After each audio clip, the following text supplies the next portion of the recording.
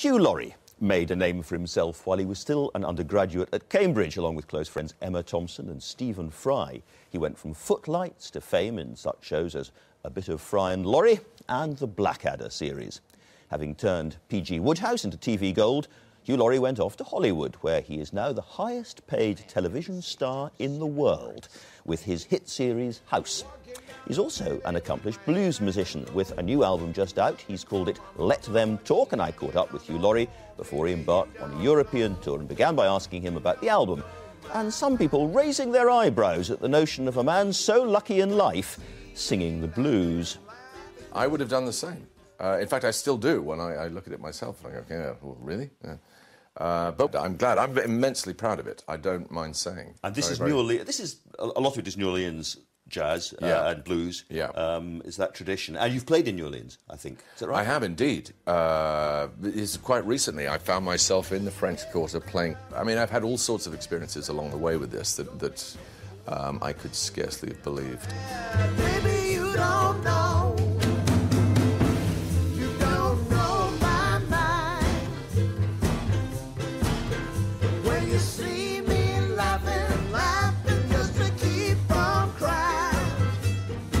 a lot of people, I think you've already referred to it in the past yourself, going to say, so this, this blues, it's for sort of very, very uh, impoverished black men with no future ahead of them. And, you know, uh, how can I put this gently? You've, life has treated you reasonably well, one It- way or another. Yes, it has. It has. Undeniable. Yes, I mean, I, I, I'm so, I, I get so You know of what I'm saying?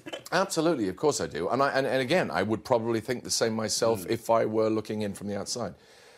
But at the same time, I just think, oh, well, really, you know, is that the way we, we just operate on this sort of grid system that we're only allowed to do this if we're that? How poor do I have to be in order to be a musician? Uh, you know, it, it's a, this, this demand that artists be, you know, starve in garrets, uh, And also- artists in any form. But also that they only do one thing. You're not really Yes. allowed to be an actor and That's absolutely to right. have musical ambitions. That's too. absolutely right. Well, and I suppose there's a there's a there's a reason behind that. There's a suspicion that uh, your intent is not serious. I understand that, but but this is as serious as I get. I don't. I, uh, there's nothing I've done that is more serious than this. Let's turn to House, which has made you, we read, the highest paid television actor in the world and has run to more than. a You, you've reached the 100 ep- 155 we've done it. 155 It's absurd, yeah. episodes. Yeah. Um, and remains enormously popular.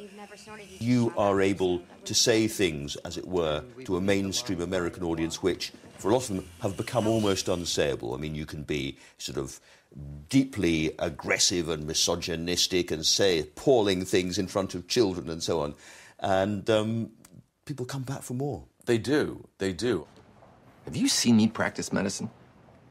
You know how much it costs to have a live-in maid, personal assistant, cook, massage therapist, whore? I do. She's willing to work four days a week for free. It's gonna save me about thirty-three thousand. All I have to do is say two stupid words. I do. I think I was probably attracted to the role in the first place because I'm not American. I think an, um, uh, my equivalent American actor would probably have thought, well, that way lies uh, that, that, that's Career suicide. Could be, Yeah. could be, because uh, you can make yourself very unpopular saying some of those things. people who think back to, I don't know, Jeeves and Wooster or the, the, the Fry and Laurie characters think it was hard to think of anyone less likely to play a dark, haunted American Well- character than yourself. Bertie Wooster is definitely pretty much at the end of the scale. I don't know how much further you can go in that direction without becoming a Teletubby. It's a very rare thing for people, I mean, in any field, to get the chance to sort of reinvent themselves. And I, I, um, I had this amazing chance, and it all, you know, my, my ship came in. In the um, British television comedy years, you worked very, very closely with some great writers, apart from your own self and, and, and your good friend uh, Stephen Fry. But there's also people like Ben Elton and, and Richard Curtis and so on. And in House, you've in, paid some very generous compliments to the writers of House. I'm just wondering how the relationship between a kind of you know, very serious thinking actor like yourself and the writers works? Do you just simply take the script or are you constantly talking with them? Um, I, I, I meddle a little bit. It's a very different system over there. They, it's, it's more of a because of the numbers they have to generate. Uh, I mean, 155 shows in seven years. No, no, nobody could write 155 Blackadders. It would take 30 people to do that, which is about what we've had writing episodes of House. It's interesting you mentioned Blackadder because that's one of the very, very rare British examples of a series running for a long period of time. The British tradition seems to kill off even the best sort of sitcom or drama Well, after a few episodes. Of course, in actual fact, even that wasn't that long. I mean, it's only uh, for 24, I think, episodes i in all, um, which is a trifle for Americans. But uh, I think it's because over here we place a. It, it tends to be comedy, particularly, but also drama too, to an extent, is the product of one mind or maybe two. Uh, it tends to produce much more idiosyncratic characters, I think, terrific characters, but it is, it is very hard for a single person to sustain uh, 155 episodes of Basil Fawlty and, and, or, or Rigsby or Captain Mainwaring. But doesn't television in this country have something to learn then? Because almost everybody under 20 seems to be watching largely American made um, products. No, if I were to be quoted as saying that British television has a lot to learn from Americans, I would never hear the end of it. So you won't get me to say that. Uh, uh, you said it. You said it, not me.